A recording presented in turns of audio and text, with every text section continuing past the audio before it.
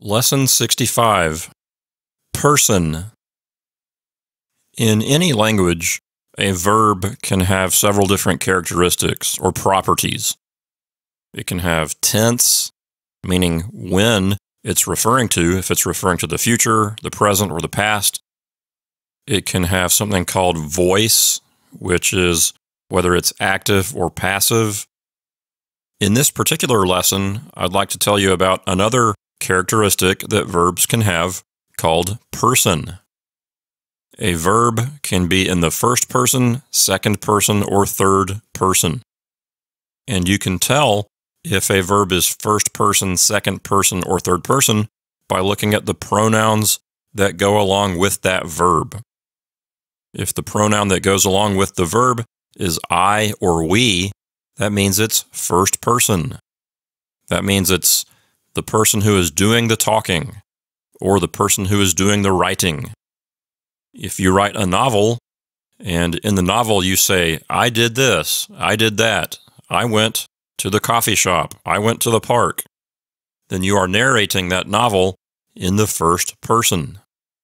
Second person is when you're talking about the person who is being spoken to.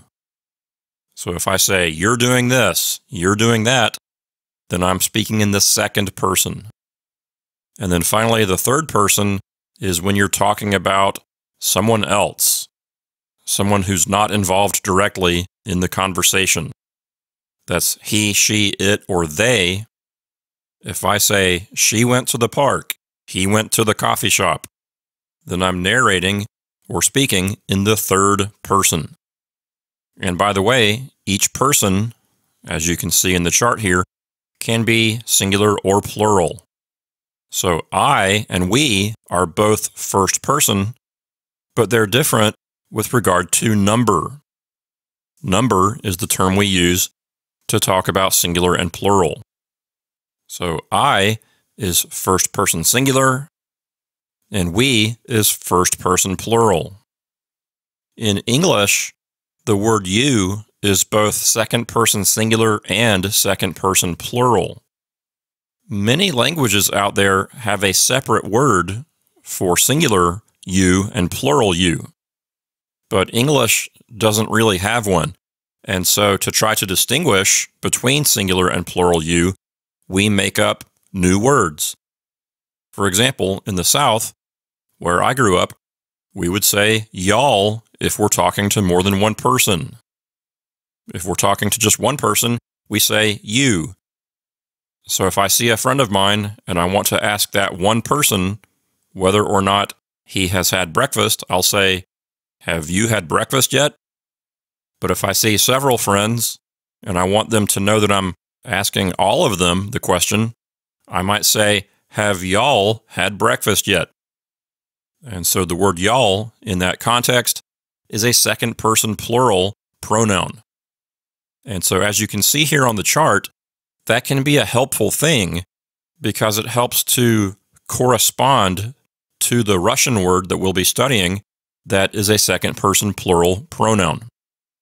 Again, many languages have this Spanish, French, German, Latin. They all have a separate word for singular you and for plural you. That is a separate pronoun.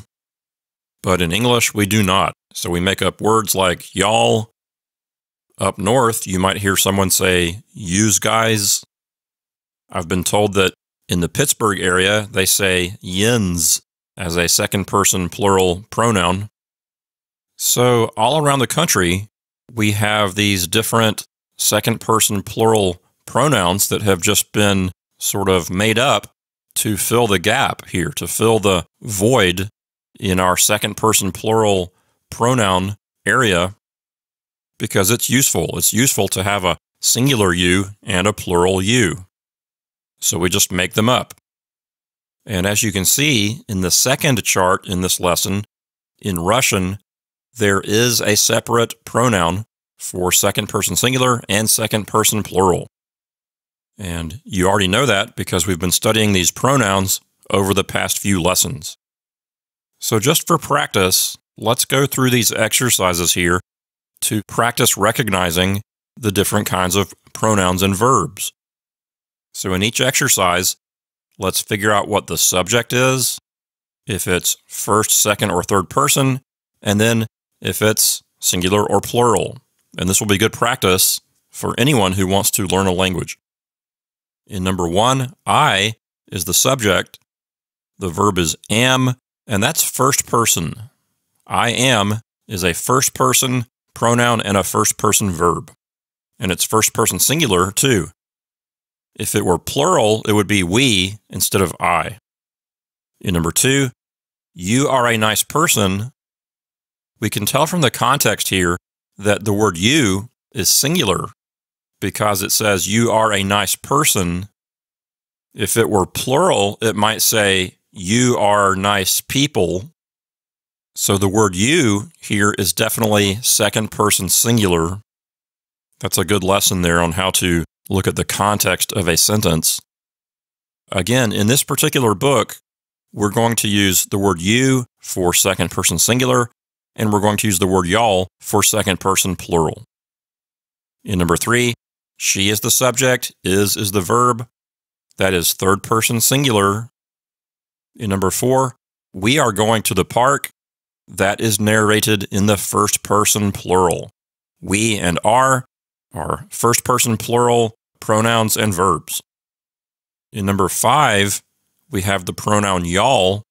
That's the pronoun that we will use in this book to designate the second person plural. And so this exercise, number five, is narrated in the second person plural. Number six, they is the subject and eat is the verb. That's third person plural. Number seven, he is. That's third person singular. Number eight, it is. That's also third person singular. In number nine, we're back to the second person plural with the pronoun y'all. So y'all here is indicating that someone is speaking to more than one person.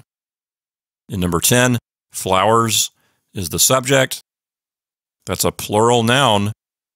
There's really no pronoun in this sentence. Nevertheless, that sentence is in the third person the subject is flowers. The verb is the word are. And so that is third person narrative. That sentence is being told or narrated in the third person. We have a third person verb, which is the verb are.